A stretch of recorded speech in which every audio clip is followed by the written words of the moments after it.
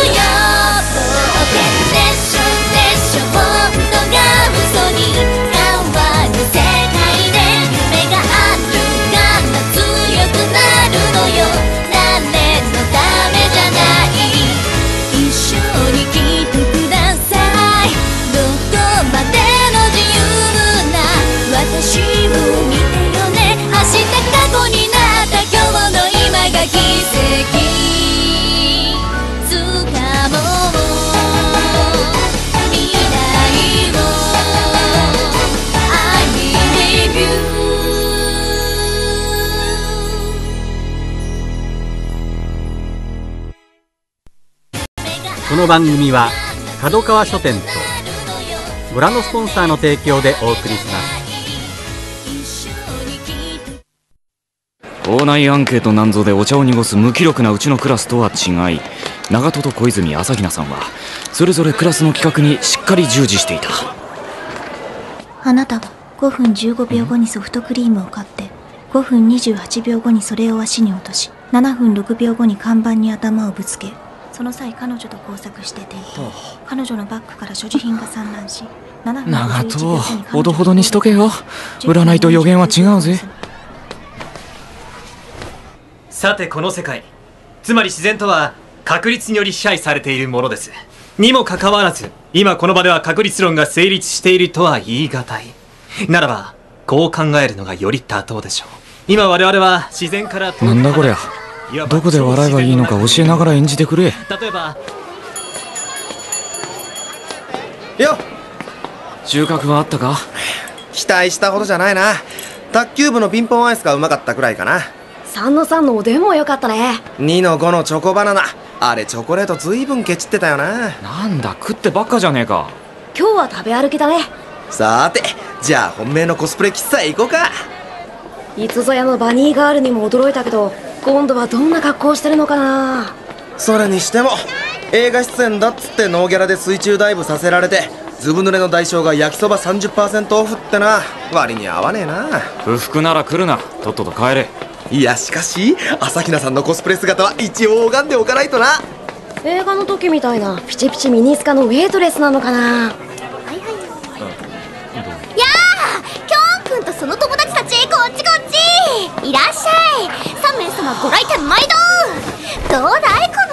の衣装メガサに合ってると思わないかな。どうにやら。それはもう盛況ですね。入れ食いさ。格安の材料で作ったヘタっぴ焼きそばなのにこんだけ客が集まるんだからもうボロ儲けだよ。笑いが止まんないね。ああそこが最後尾。並んだ並んだ。料金先払いでよろしく。ちなみにメニューは焼きそばと水だけだからね。焼きそば1つ300円。水道水はタダで飲み放題じゃあこれで。えー、っと3人だよね。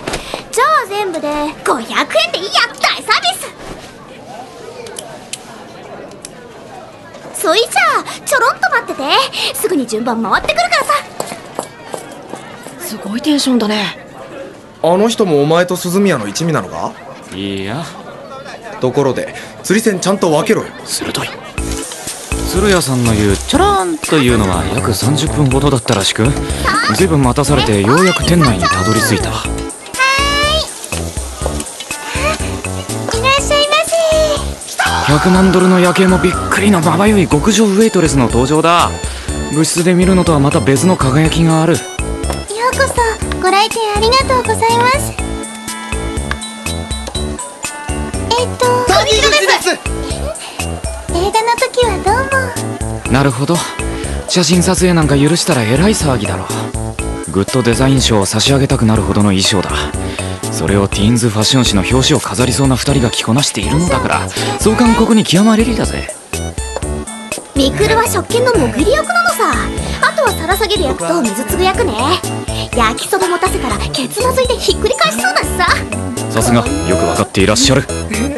結局早すぎる客の回転に煽られて焼きそばをものの5分くらいで書き込んだ俺たちは食った気もしないまま店を後にした。これからどうする？僕はキョンたちの作った映画が見たいな。自分がどう映ってるかも確認したいしさ。あんなもん別に見たくもねその意見には同感だがお前に言われると無性に腹が立つ。焼きそばだけじゃ全然足りん。次は科学部のバーベキューパーティーだな。まだ食うのかよ。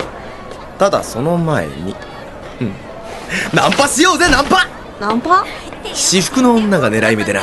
3人ぐらい固まってる連中に声をかけたら意外にホイホイついてくる。俺の経験によって知り得た法則だ。成功率はほぼゼロの経験則が何の役に立つんだ遠慮する。お前ら二人でやってろ。あ僕もよしとくよ。一人でやってみて成功したらその相手の友達でも紹介してよ。あなんだよお前ら根性なしだな。ませいぜい文化祭を楽しめ普通にな。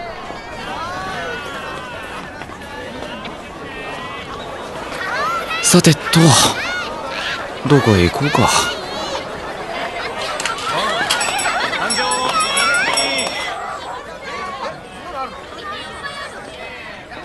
っきの見た出しちゃったよね行動で吹奏楽のコンサート。それから軽音楽部と一般参加のバンドか。ずっと座っていられるしな。徹夜明けの疲れた体を休めるにはもってこいだろう。